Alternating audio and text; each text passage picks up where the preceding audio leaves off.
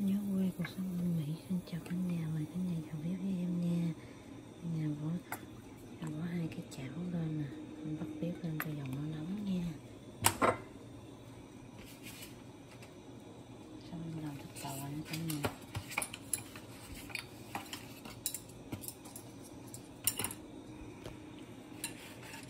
rồi giờ nó nóng chưa nha Rồi, xong bỏ thịt bò vô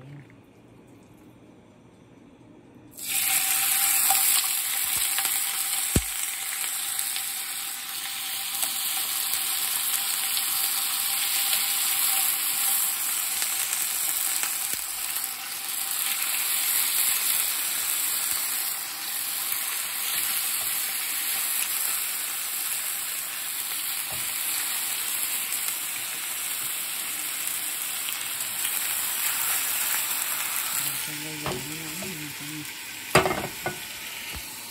này xào thế này rồi nó bán một dĩ như vậy rồi nó có một cái này như thế này cái nước sốt như vậy em bỏ cái này vô trước Em xào trước mình làm thật cảnh lên mình vô rô nóng nè ớt tô nè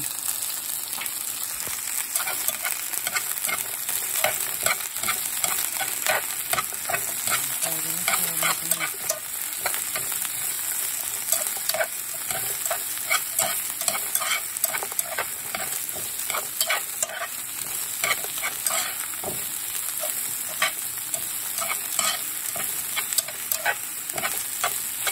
Đây là cái thịt bò được chưa? Đó. Rồi đây là cái rồi cái tấm này. Nó ngon cái này còn này nó chín. Cắt sẵn miếng lát lát ừ. này.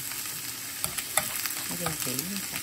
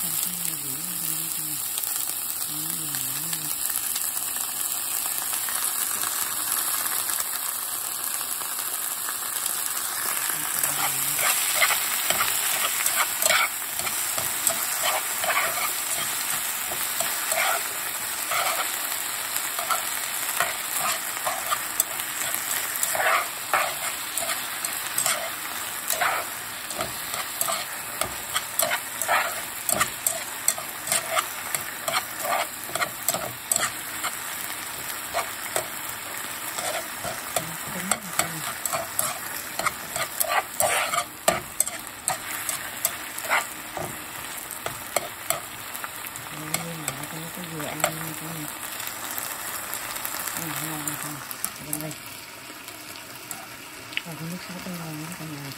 Nó làm thấm lắm.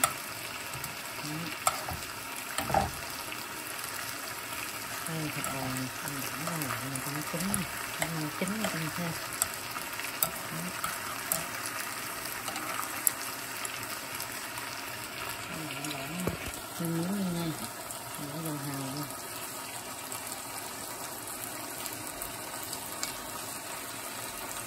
khoảng một muỗng dầu hào nữa cả nhà. Rồi, khoảng một muỗng dầu hào.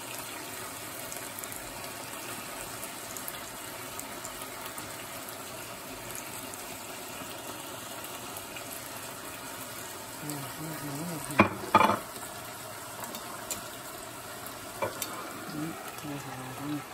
Rồi em bỏ cái này một muỗng ớt này vô nha. Một chili sauce.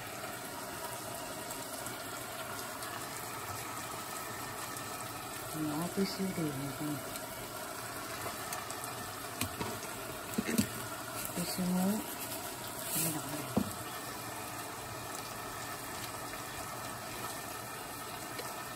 đà. chiếc cần chicken rồi, Rồi con một trộn đều luôn. Coi thịt nó thấm gia vị này nha.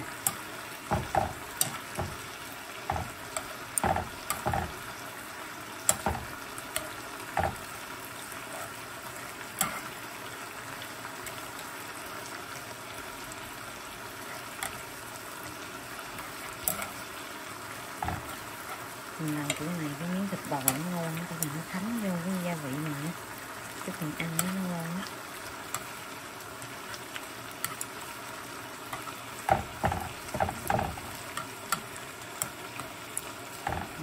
để cho nó thấm một tí nha.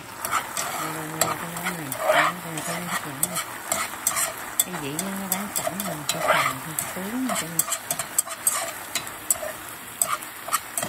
có hành vô vô nè có tương nè cái nắng nè nó cho một đổ nước sốt nữa để mình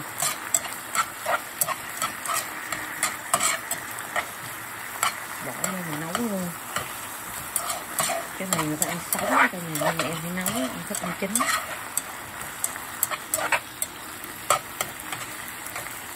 Còn nó chín nha cả nhà em cắt biết nha. Đó rồi vụn vài cái này.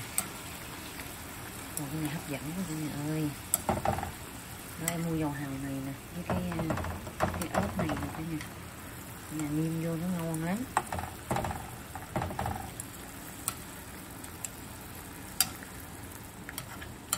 Thấy hấp dẫn chưa? Ừ. chín nè.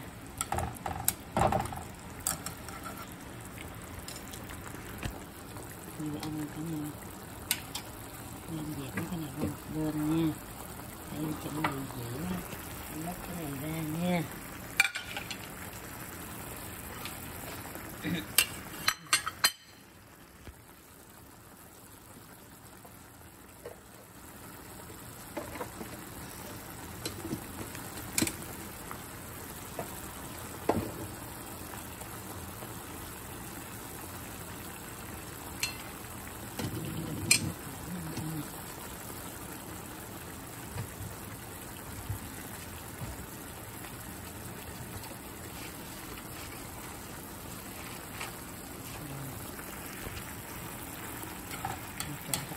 Còn nữa nha.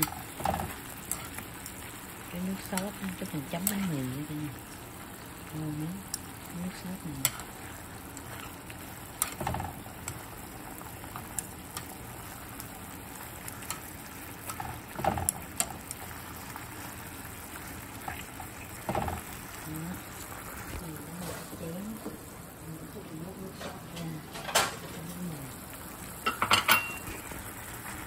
Tiếp này cả nhà thịt nó chín này nó thịt ra. Thịt ngon chưa ra để mình ăn cái bánh mì mình lấy dao mình cắt đó cả nhà. Dao hoặc kéo cũng được hết cắt là nó thấm gia vị vô. Để mình dễ ăn cái bánh mì nha. còn nước sốt thì mình chế ra cái chén để chút mình chấm bánh mì nha cả nhà. Đó.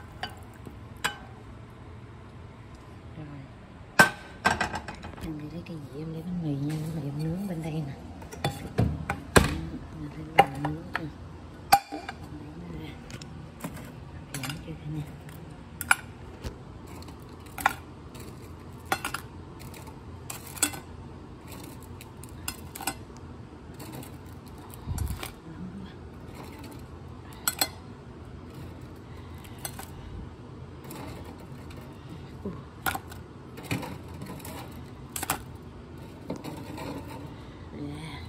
xong mình đúng rồi đây Đấy.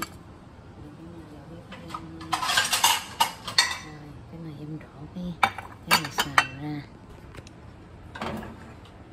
Còn xào này em ông nấu nữa cả nhà. Để múc ra.